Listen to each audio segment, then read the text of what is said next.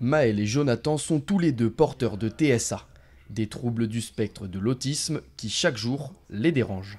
Je pense que ouais, c'est compliqué.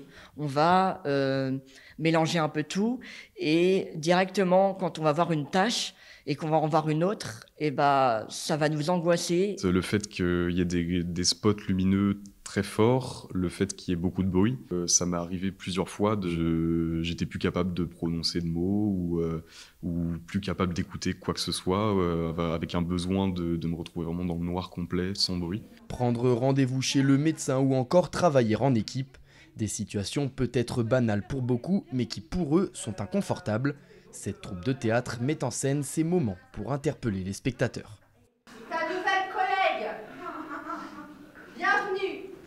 On est là pour mettre en lumière en fait des stéréotypes et on est là aussi pour, euh, euh, je dirais, euh, qu'il y ait un peu de piquant. Plus les scénettes sont piquantes, plus on a de réactions du public. Réaction du public. Il n'y a même pas de, de dialogue, c'est tout de suite, on rentre dans alors, il faut que je regarde ce qu'elle a. Elle aurait dû remarquer tout de suite que le patient il était en stress et en panique. On se rend compte qu'il y a encore des schémas à faire. On doit les, on doit les inclure dans, notre société et, et c'est pas évident. La clé, ce serait vraiment d'acculturer les gens et de sensibiliser les gens à qu'est-ce que c'est que le handicap, quels sont les différentes formes de handicap et quels sont les besoins des gens.